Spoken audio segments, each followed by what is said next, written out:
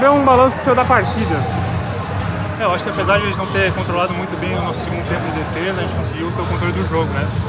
Foi mais importante para esse final de último quarto aí conseguir sair da vitória.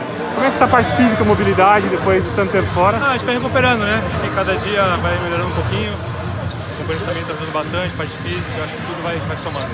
E por fim, o que, que pode esperar do Mogi nesse NBB?